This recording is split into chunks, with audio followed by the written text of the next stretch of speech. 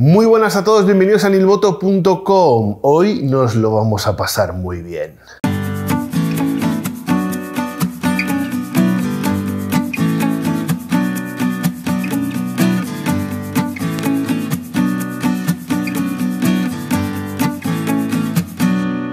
Bien, pues mirad lo que tenemos hoy aquí, un pedazo de Acra Racing Lane para la Tracer 9 y Tracer 9 GT. Por eso digo que hoy nos lo vamos a pasar muy bien. Estoy deseando de ver cómo suena mi moto con este escape. Como os decía, estamos ante la línea Racing, es decir, no está homologado. Como podéis ver, el tramo de los colectores donde debería estar el catalizador, no hay absolutamente nada. Tenemos este tramo recto y eso nos augura que esto va a sonar que te cagas. Tenemos una línea completa con todo lo necesario y tenemos aquí la terminación con una capa de carbono exterior. Además, como podéis ver, con una estética bastante brutal, bastante guapa, que creo que le va a quedar muy bien a esta moto. Vamos a haceros luego pruebas de sonido, como hacemos siempre con los escapes. Y por supuesto aquí tenemos todo, incluso la abrazadera también está hecha en carbono.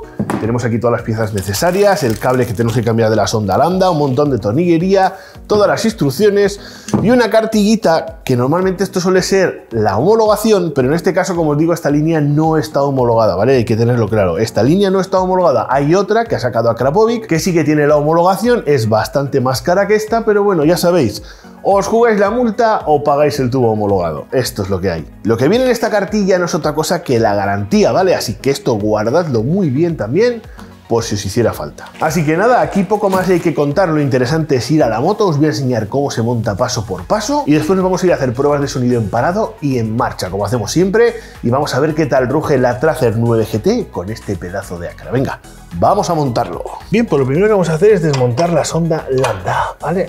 Esto suele estar un poquito duro, con una llavecita de 17, vais girando y ahí la tenemos completamente fuera. Bien, pues lo siguiente que vamos a hacer ya es ir soltando los colectores.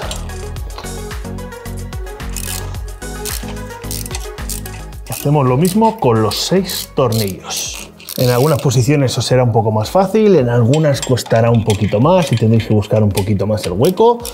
Si no, siempre podéis descolgar el radiador. Después vamos a ir al lado izquierdo de la moto y vamos a ir a soltar este que es uno de los que ya sujeta el escape por completo. Estamos, lo sacamos y vamos al otro lado y quitamos el otro. Este en el lado derecho. Y ahí ponemos la mano que ya va a ir cayendo entero.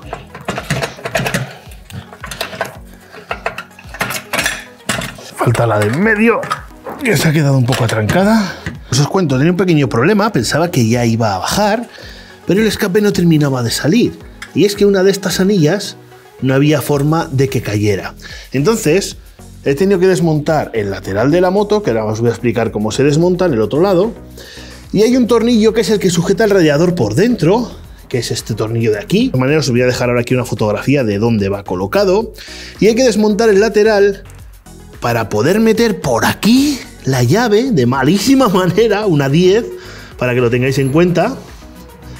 Y soltar el tornillo que sujeta todo el radiador para que ahora tenga un pequeño juego y ya creo que sí que me va a dejar sacarlo. Así que vamos a ver, ¿eh?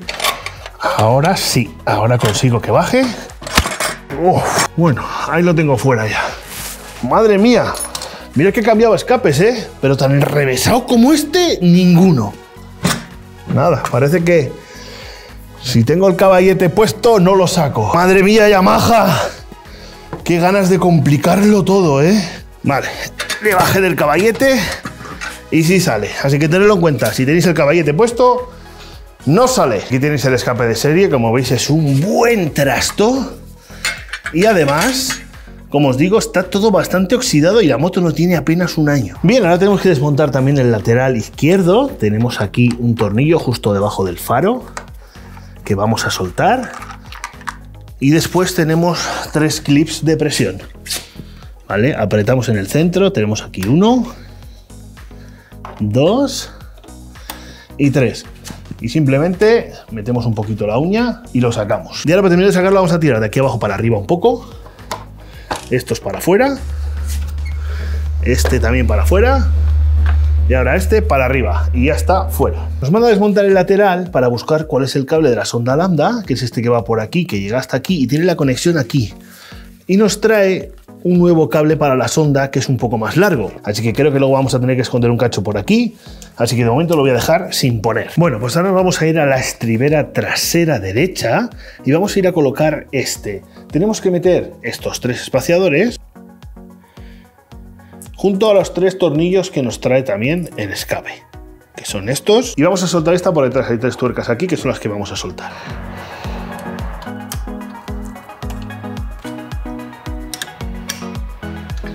Vale.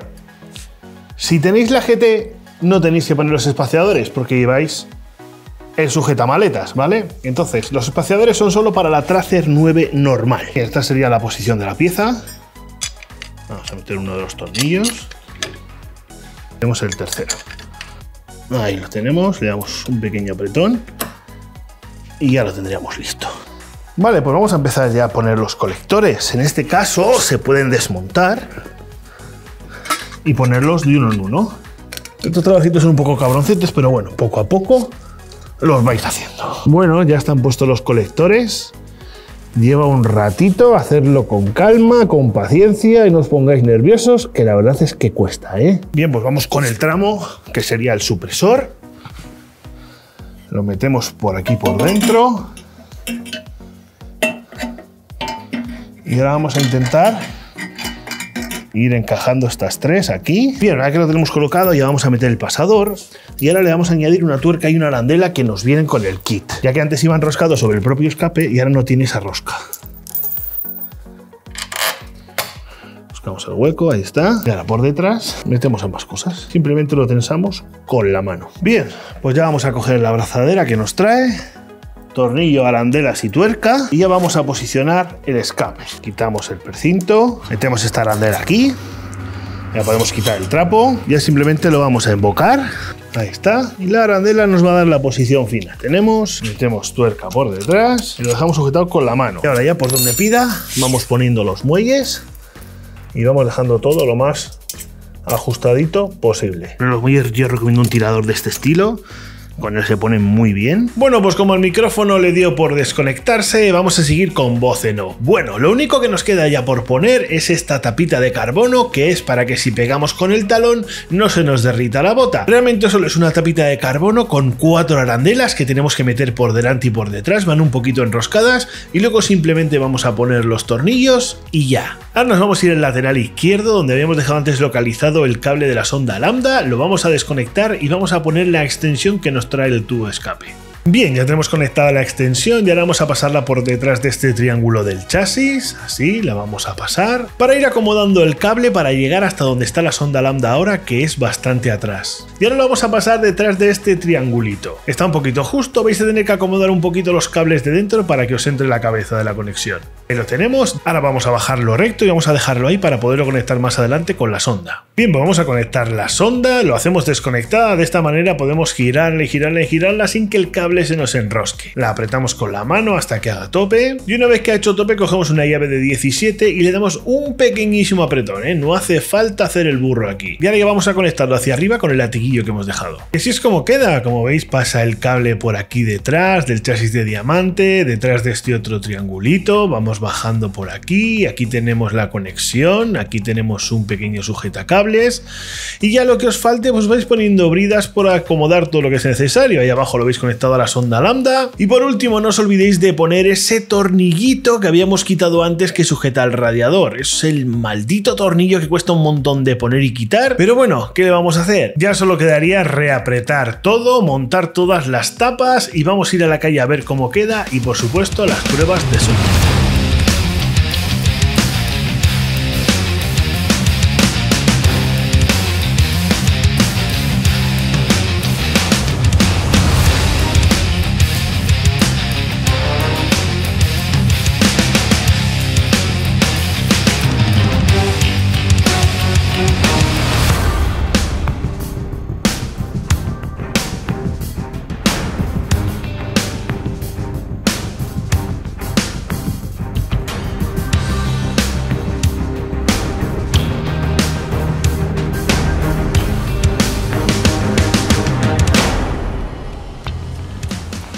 Bien, pues vamos a empezar con las pruebas. Vamos a empezar con la moto de serie para que luego lo tengamos de backup y lo podáis comparar. Vamos a empezar con la moto totalmente fría.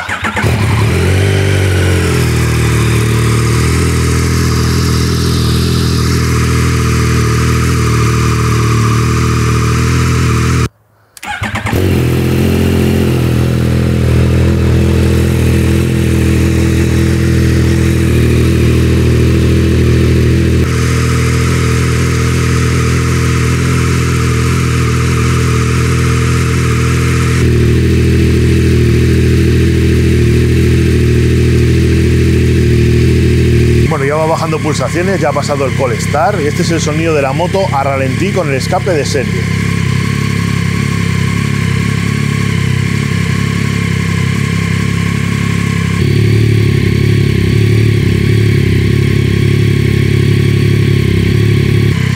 Bien, ya tenemos la moto completamente caliente y vamos a ver qué tal suena con el escape de serie.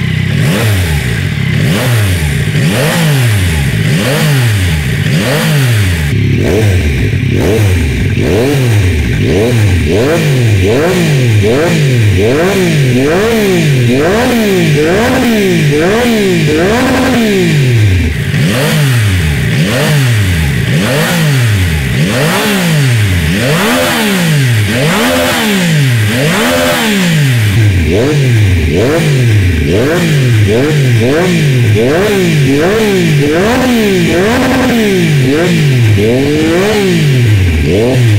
Bien, pues una vez que lo habéis oído en parado, ahora toca oírlo en marcha. Y hoy os voy a dejar los primeros minutos solo de escape, de silencio absoluto.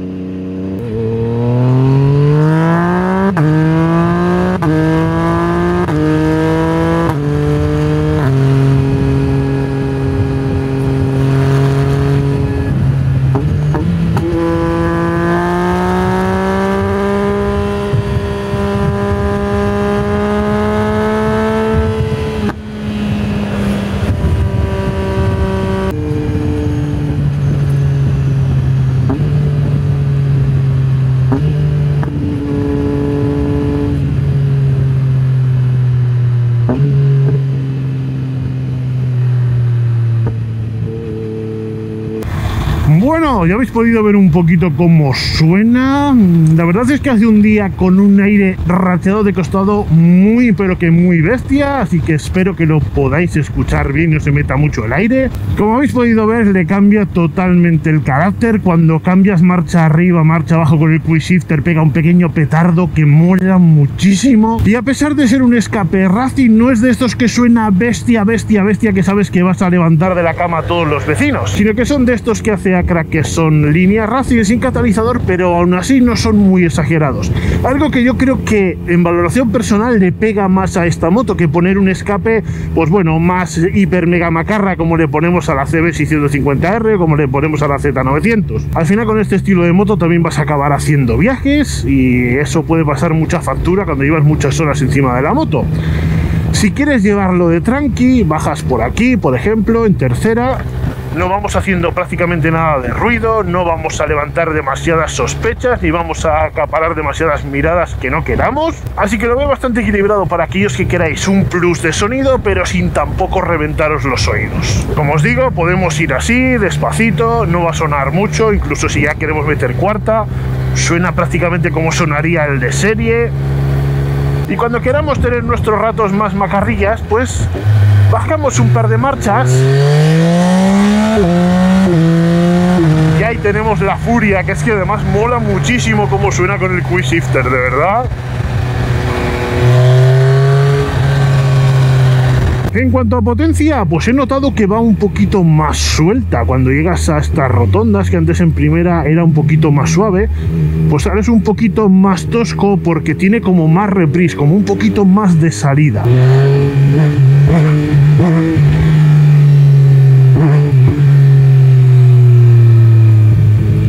Sí, como que es un poquito más violenta, ¿eh?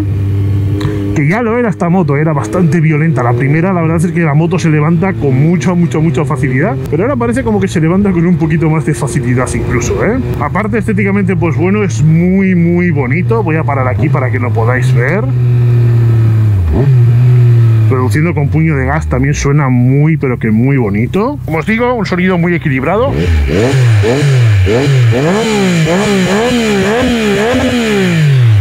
pero sin levantar demasiadas sospechas, ¿eh?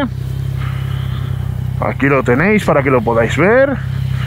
De verdad que le queda muy pero que muy bien, como habéis visto también no pega con la maleta para nada, respeta como una distancia así hasta la maleta, así que es una muy buena elección tanto si tenéis la Tracer 9 normal sin maletas como si tenéis la GT, como si tenéis la 9 y luego le pensáis poner maletas, pues bueno, sabéis que tenéis bastante distancia libre y que nunca os va a pegar en la maleta. Y es que le da ese toquecillo justo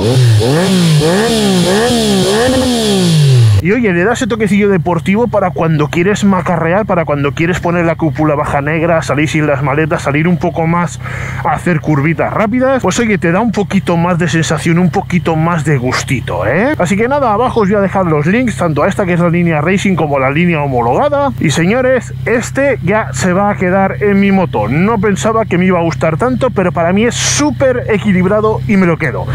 Así que nada, si te ha gustado el vídeo como siempre, dale like, suscríbete al canal y nos vemos en el próximo vídeo. Hasta luego, toma Krapovic.